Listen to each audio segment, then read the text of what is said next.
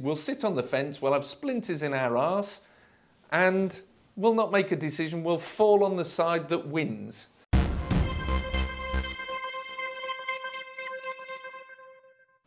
Leaseholds will be abolished within 100 days of an incoming Labour government. That's their promise. In this video, we're going to take a deep dive into what all that means and some of the pros and cons and can of worms that might be opened.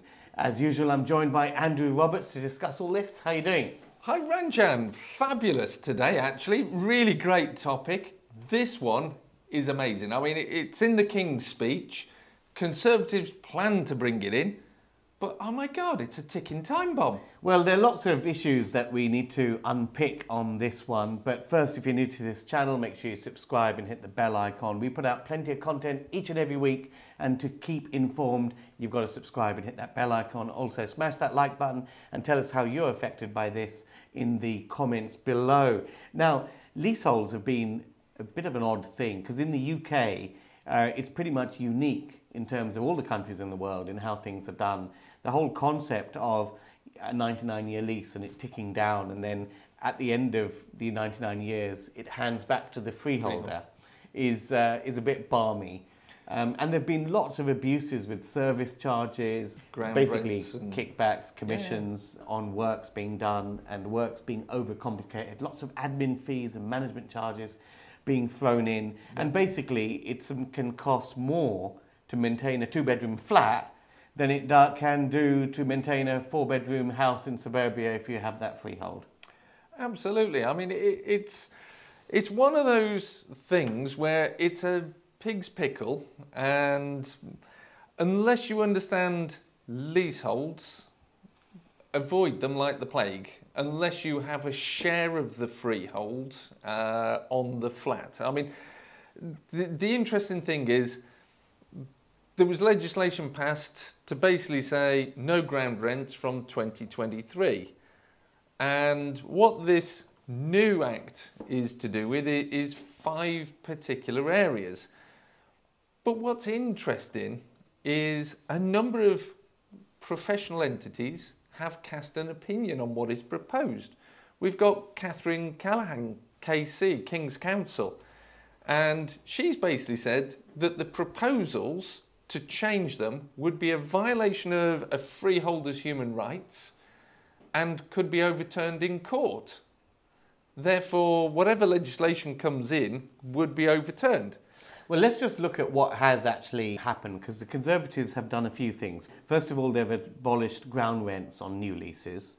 Um, and of course, lease extensions are going to be a thousand years. So they've done one or two things. But this is, I think, the, the crux of the issue is taking away property from someone without compensation yes. and giving it to someone Absolutely. else. Which this is a democracy, this is a capitalist system, this is not the Bolsheviks, this is not the 19 whatever it is 14 Russia, uh, communism and confiscation of property and all of that.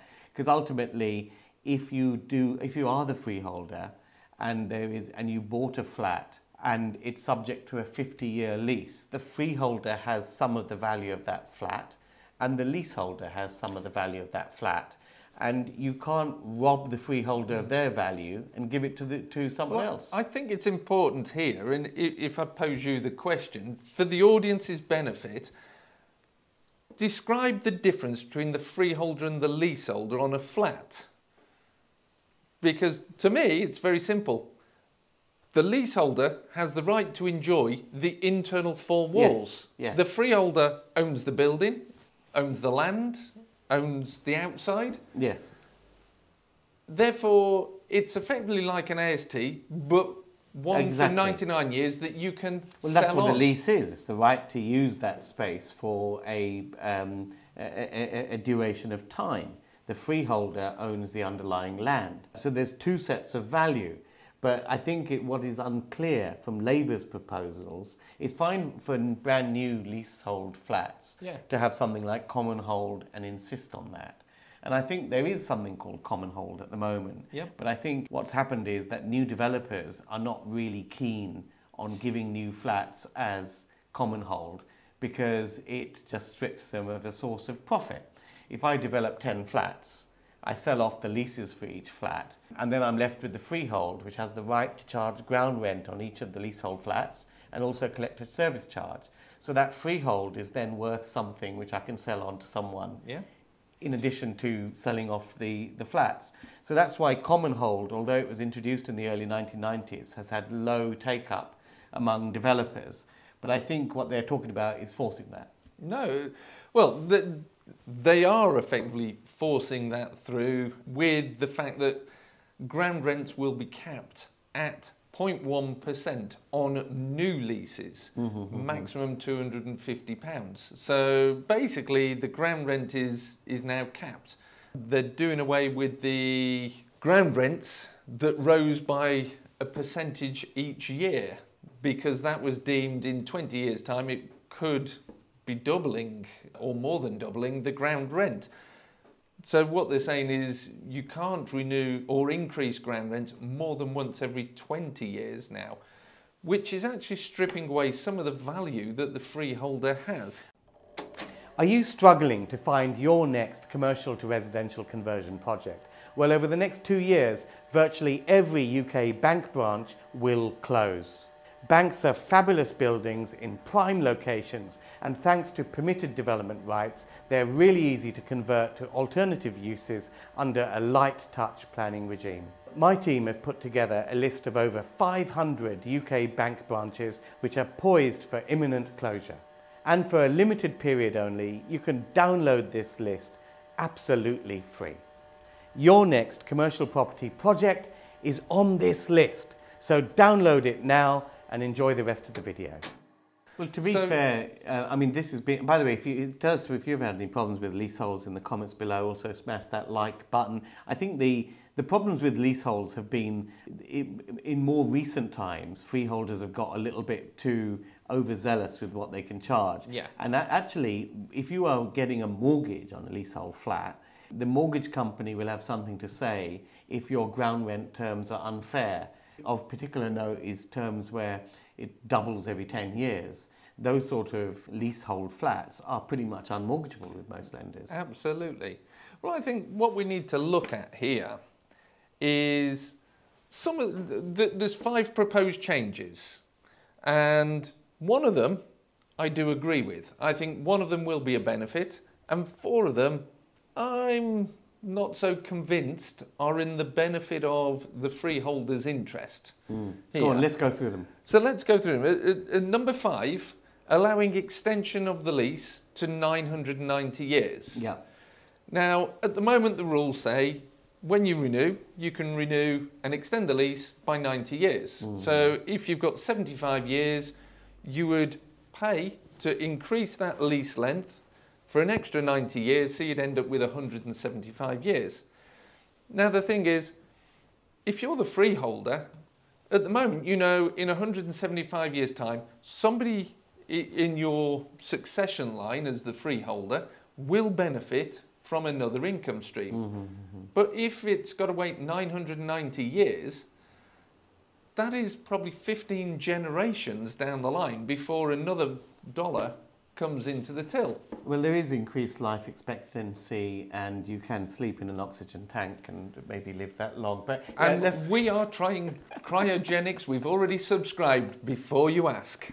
what, what are the other four proposals? Buying out the ground rent when you extend the lease term. Yeah. Now, this bit, I suppose, could be reasonably fair, but they're talking about capping out the amount of money you pay to buy out the ground rate. And so when you extend the lease term, you will have no longer or just peppercorn ground rent effectively, but you will pay a fixed sum Yeah. possibly £250 or 0.1% of, of the value of the flat. So once you've done that, you'll no longer pay a ground rent. So again, it's taking away an income stream and taking away value from that freehold, which is where Catherine Callaghan and the Housing Communities and Local Government Committee both said, yeah, I think we're going to struggle to get this one through. On the other side of it, the Law Commission wrote 322 pages, as they would, a nice concise document, and they didn't put a single recommendation at the end of it as to what would be fair, what would be reasonable, whether freeholders will win, leaseholders will win, or what the government should do. Mm-hmm. A typical lawyer draft, which is we'll sit on the fence, we'll have splinters in our arse, and we'll not make a decision, we'll fall on the side that wins. Sorry, I'm, I'm, if you're a lawyer out there, comment is that the sort of thing that lawyers do, or am I being unfair to lawyers? so, capping ground rents at 0.1% is one of the proposals. Abolishing marriage value. So, now for- that is the big. that's the big elephant issue. in the room. That's the big issue, and I don't think they're going to get that through, quite frankly. Tell us what you think in the comments below. Also, join us at our next Baker Street Property Meet. We meet each and every month, the largest networking event in the UK, where you can meet up with 300 plus passionate property investors. Book your place at bakerstreetpropertymeet.com. Marriage value is basically if a lease is 50 years left, um, then the freeholder has some value attached to the freehold simply because they're going to get it back sometime. Well, it, it's effectively a, a law of diminishing returns. The value of that lease is transferring to the freeholder with every day that uh, passes. Now, it, the value of that increases because when the lease is renewed, effectively the freeholder gets half of the increase in value back onto their side of the fence. Now, that to me is taking away value that that leasehold has to the freeholder. So, again, as an investment strategy that some people follow, buying freeholds of blocks, if this comes in, you will lose a significant value off your portfolio. I think um, what is likely to happen, I'll stick my neck out here. I think in the north part of England, uh, particularly in coal mining areas, there is there are quite a lot of houses which are on leasehold, and I do see if it's basically a house, uh, but it's it's a lease that could easily be done away with without Yeah. much you know, loss here and there. But I think it, where you've got existing leases which are particularly short, uh, I don't see any real benefit in, say, if someone has a 20 year lease left on a flat in Chelsea, robbing the freeholder of that value and Yeah. just giving it to the leaseholder. Absolutely. It doesn't have any benefit and it is also completely illegal from any, you know, in a capitalist system we have rule of law, we have rule of property ownership. And that would also affect a lot of confidence in the rule of law and an incoming Labour government. They might, but it might be in there de facto for the future because if all leases are thousand years, it kicks the can considerably down the Down the road. road, yeah. Normally, politicians kick the can down the road to the next election cycle, but a thousand years is uh, a long way to kick the can down the road. Will we be a democracy at that point or, or a communist society? I don't know. Comments below on that one. Anyway, the, I, I do agree with you, but the thing I do think, the fifth thing, which I do think will be implemented, is using a prescribed formula to calculate the extension of the lease value and the ground rent. At the moment, the system, to sort of explain, is the freeholder has a valuer, you have a valuer, and the two valuers bang heads and argue it out. It causes a lot of cost, a lot of delay, and the only winner is the valuers and the solicitors, not Uh, you.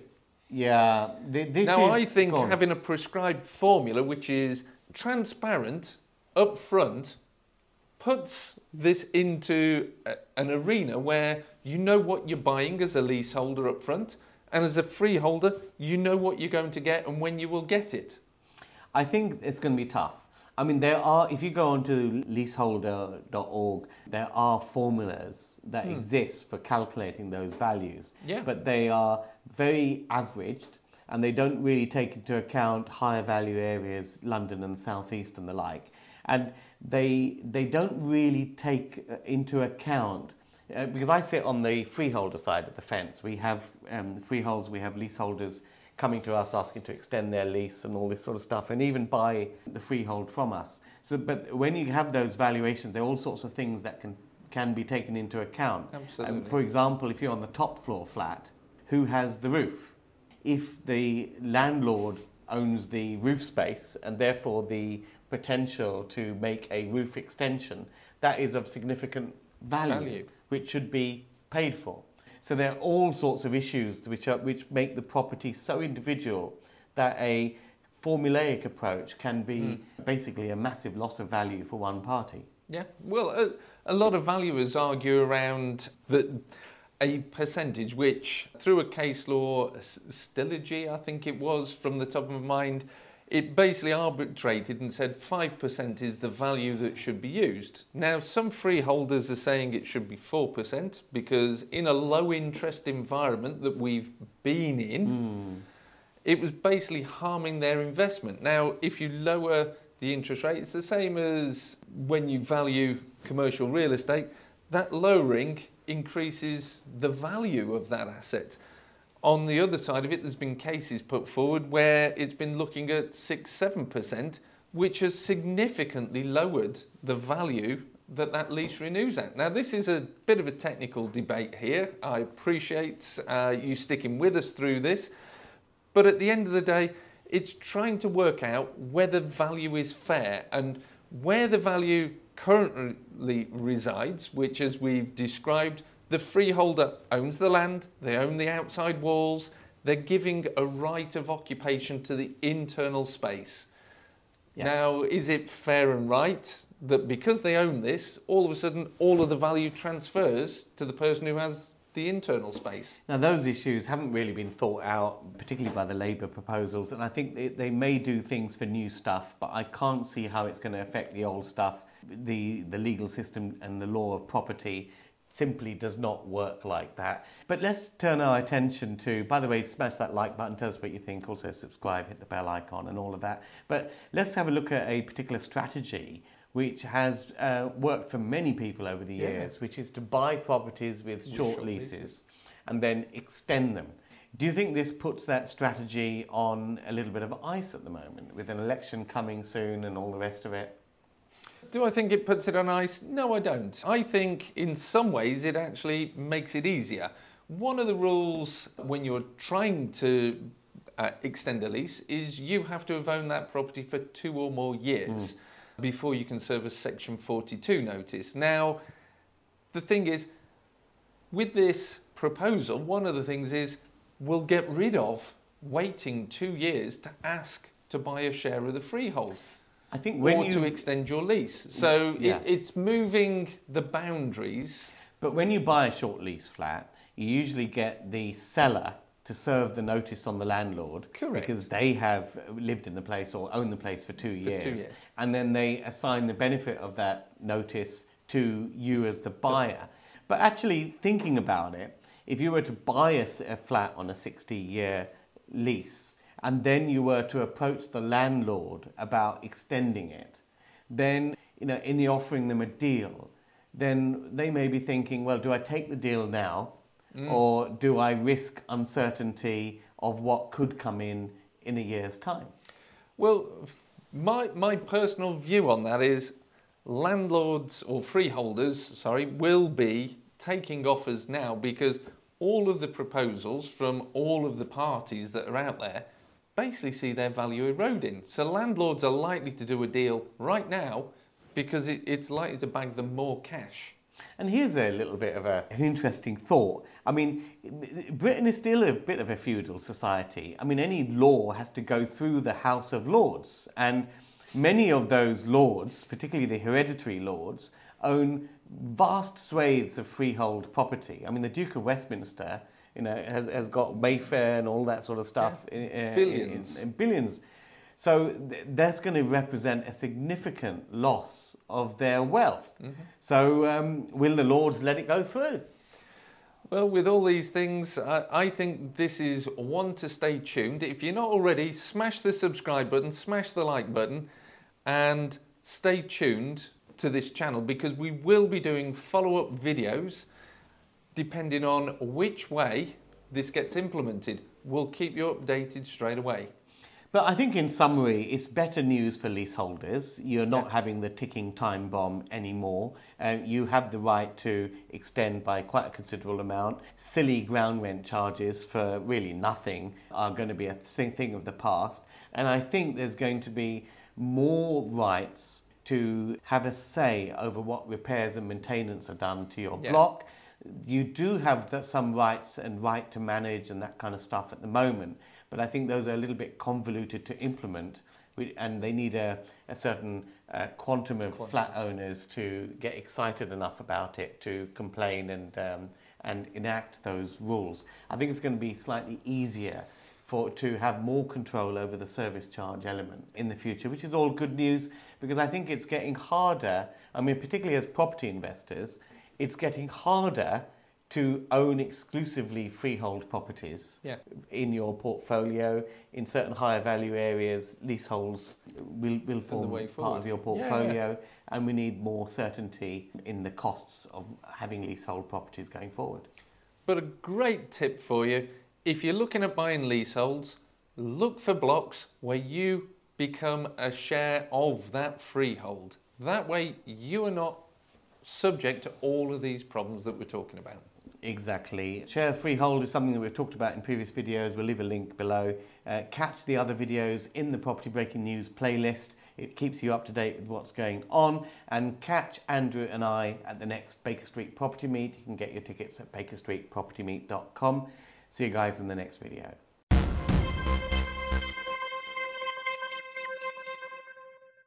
The Baker Street Property Meet is the UK's largest and number one property investors networking event. The property market is going through monumental change right now, and at Baker Street Property Meet, we aim to keep you up to date with the latest tips and tricks and insider tactics to help you keep on top of your property investing game and succeed in these troubled economic times. The Baker Street Property Meet is fundamentally about networking because it's not what you know, it's who you know. And at Baker Street, we aim to connect you with the people to make your property journey a monumental success. There's no better place to be to further your property investment journey than the Baker Street Property Meet. So make sure you're here, you're connecting with myself and Andrew Roberts, our expert guest speakers, and 300 passionate property people each and every month. See you at the next meet. Get your spot at bakerstreetpropertymeet.com.